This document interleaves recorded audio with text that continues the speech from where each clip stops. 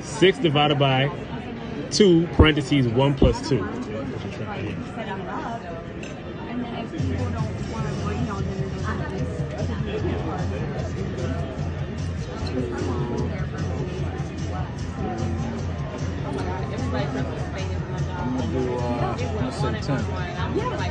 Financial? I'm, I'm doing separately.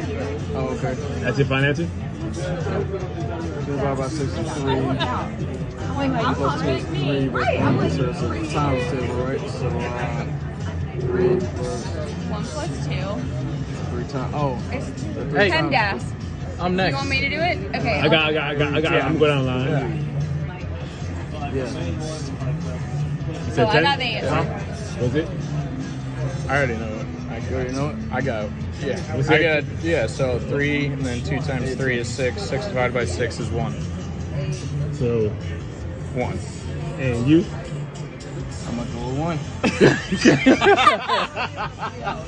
Second voter for one. One? Yeah. All right. Please excuse my dear Aunt Sally.